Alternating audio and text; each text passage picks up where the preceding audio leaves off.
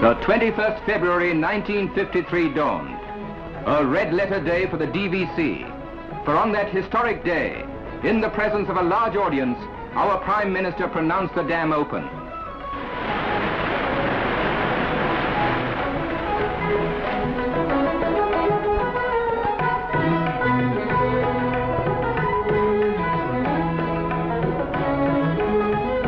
Also set in motion was the first of two hydroelectric generators.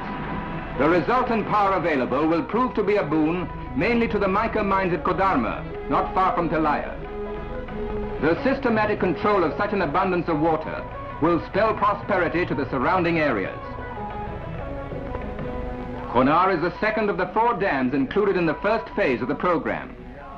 It is of the concrete gravity type with continuous earth embankments on either side. Construction at Konar began in the middle of 1950.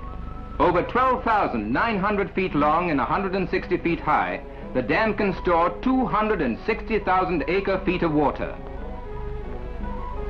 The water released from this reservoir will generate 191 million kilowatt hours of electric power and also furnish a constant supply of water for cooling purposes to the thermal station at Bokaro. Here is a vast vista of men and machines battling together to tame an unruly river so that a valley may prosper. Work at Bokaro began in the early part of 1950 and continued according to schedule. In February 1953, this plant, the largest in India, was completed. And on the very day of the inauguration at Tilaya, Mr. Nehru opened the Bokaro station. The Bokaro thermal station is mainly planned to maintain an even supply of power during the dry months when the water level in the reservoirs is low. The plant utilizes low-grade coal from nearby mines. Basic industries in the area can now expand for Bokaro can supply the much-needed power. Maithon, work here on dam number three began in December 1952.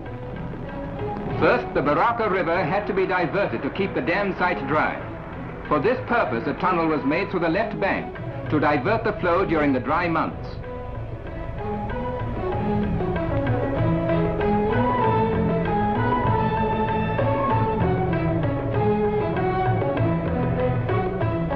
The dam is a composite structure, partly concrete and partly earthen, as one can see from this model.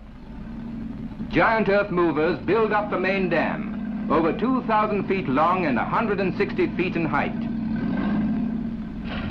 The Maithon Dam, designed primarily for flood control, will irrigate 270,000 acres. Besides, its water power will generate 164 million kilowatt hours of electricity.